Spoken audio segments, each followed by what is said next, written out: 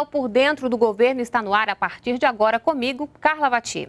As novas regras do Minha Casa Minha Vida devem ampliar o acesso dos brasileiros ao programa habitacional.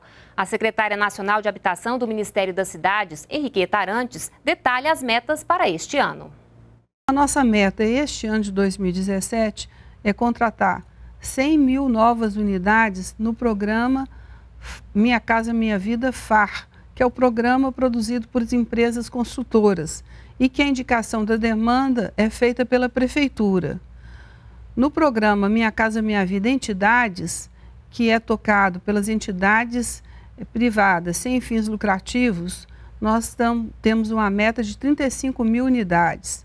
Para esse programa, a participação das famílias se faz através da união de um grupo de famílias que precisam de casa, encontrarem uma liderança que forme uma entidade organizadora e que venha fazer a proposta para a, a, construção dessas unidades habitacionais. No programa de habitação rural, que é um programa importante que o Ministério tem, a, a meta desse ano também são 35 mil unidades.